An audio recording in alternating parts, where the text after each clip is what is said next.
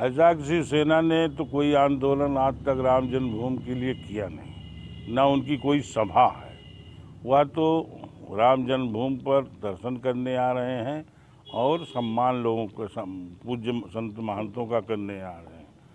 तो इसलिए ये दोनों की सभा है, यह कहना गलत है। केवल विश्व हिंदू परिषद द्वारा आयोजित जो है विराट एक सभा का आयोजन हुआ है 25 तारीख को उसमें लाखों लाख लोग आने वाले हैं। जो जुडिशरी के द्वारा समय बर्बाद हो रहा है सा, सारे संतों में राम भक्तों में आक्रोश है और वह उसी को लेकर के कि जल्दी उसमें निर्णय होना चाहिए।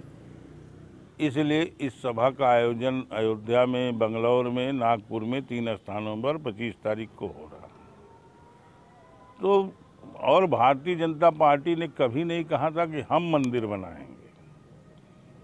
भारतीय जनता पार्टी ने कभी नहीं कहा था कि हम मंदिर बनाएँगे। भारतीय जनता पार्टी ने कहा था कि प्रभु श्री राम का भव्य मंदिर बनना चाहिए।